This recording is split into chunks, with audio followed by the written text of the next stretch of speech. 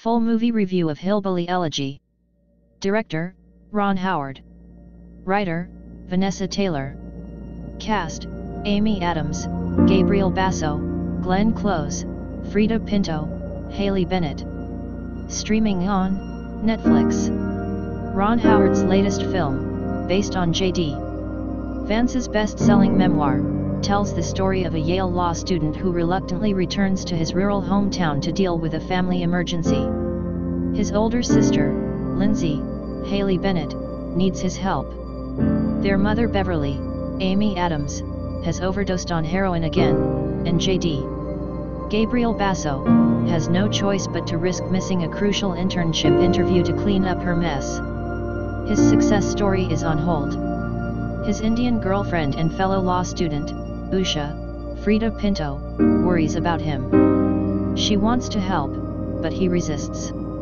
Back in Ohio after years, while trying to sort out his mother, JD is haunted by flashbacks of his difficult childhood with the Vances a multi-generational melange of poverty, drugs, wasted hearts, and troubled minds.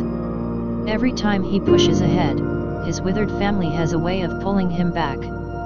Watching Hillbilly Elegy was, for me, a conflicting experience. On one hand, the film is shameless Oscar bait.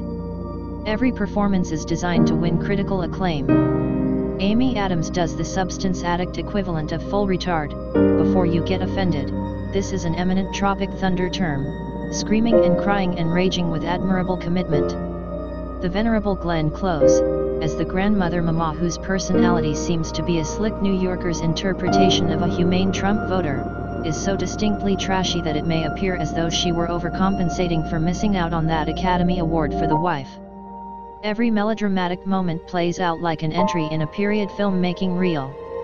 The memoir itself, titled Hillbilly Elegy, a memoir of a family and culture in crisis, was intensely debated for its generalized gaze back in 2016, and its screen adaptation is at best a simplistic, Forrest Gumpish display of poverty porn that virtually harasses the viewer into feeling strong feelings. I'd imagine Americans getting offended by this film the same way some of us Indians were offended by Slumdog Millionaire. The backlash it might warrant is understandable. On a cultural level, it's a broad-brushing disaster, somewhat like an Appalachian Green Book. The American dream is reduced to a sappy Hollywood trauma template. The anguish is performative, the village underdog trope oozes like a stale wound. In an early scene, JD is seen calling Usha from the restroom of a fancy restaurant because he has no idea how to use the cutlery at the table with his potential employers. A minute later, he goes all big moose on one of the snooty super white bosses for joking about rednecks. I mean, color me brown. But on the other hand, as with most recent Ron Howard movies, there's something beneath the narrative's socio-cultural awkwardness. He has a way of making bad movies feel good, and this is perhaps the most significant entry of that list.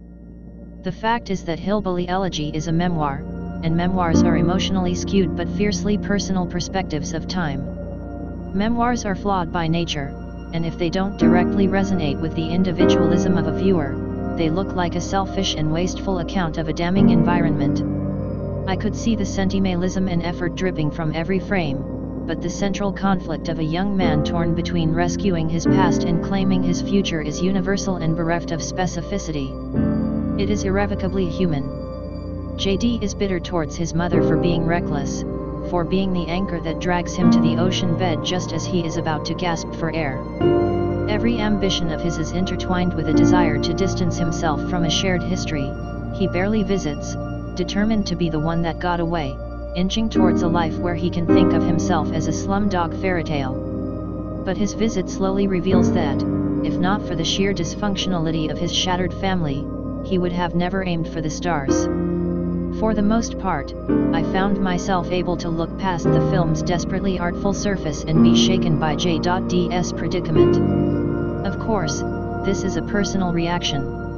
Given that much of my childhood is haunted by visions of addiction and rehabilitation and marital stress, I've long wrestled with a sense of resentment towards the people responsible for it. I've explicitly been where JD finds himself at having to choose between rescuing an addicted parent and an important career move. At this stage, as an adult striving to make up for lost time, I feel guilty for feeling inconvenienced at the prospect of helping them when they need it. I feel sabotaged when I am faced with the indignity of dropping everything and nursing the past. At the same time, I am also acutely aware that I took to words to expressing myself on paper precisely because of where I came from. Speaking was rarely an option. In a way, they made me who I am. For better or worse, I dream harder because the nightmares were longer. Does this make me a terrible son? There's no easy answer. But I can tell you that only those who come from families afflicted with addiction and illnesses hold the ability to examine this question. The art that arises from it is bound to be self-absorbed and needy. But what is art if not a canvas of ethnic dog whistles?